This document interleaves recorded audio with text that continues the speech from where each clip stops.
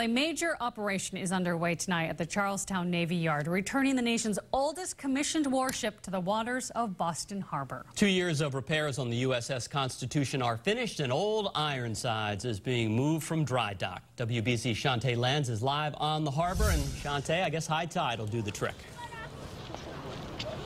And Ken and Katie, it should. This is the USS Constitution, newly restored. The undocking process started at about 4 o'clock and will continue till around 10 o'clock tonight.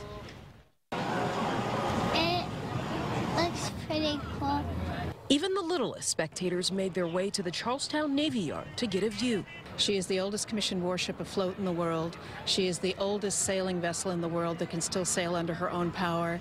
And she is the beginning of the United States Navy. After a lengthy stint in dry dock, the USS Constitution hits the water once again. Nicknamed Old Ironsides during the War of 1812, the nation's oldest warship will return to the Boston Harbor after spending more than two years undergoing maintenance and repairs. Crews waited until high tide Sunday afternoon to flood the dry dock and lift the ship into the water. Restoration happens once every two decades. The ship turns 220 years old in October, and it's been manned by sailors since 1797.